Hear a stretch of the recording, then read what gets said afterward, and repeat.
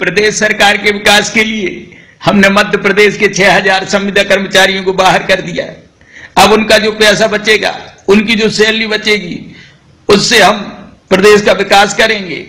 आपको घबराने की बिल्कुल ज़रूरत नहीं है। आपका मामा अभी ज़िंदा है। नौकरी ही थोड़ी ना सब कुछ होती है। उसके साथ साथ आप चाट का ठेला लगाओ, फुल्की की ठिलिया लगाओ। ये सरकार आपकी बहुत मदद करेगी। चाट के लिए समोसा उपलब्ध कराएगी। फुल्की के लिए फुल्की के पानी का उपलब्ध प्रबंध किया जाएगा। मैं आपसे कहना चाहता हूँ, जब तक मैं रहूँगा, ऐसे ही सफ़ाई करता रहूँगा। इसी उद्देश्य को साथ लेते हुए जय हिंद, जय भारत।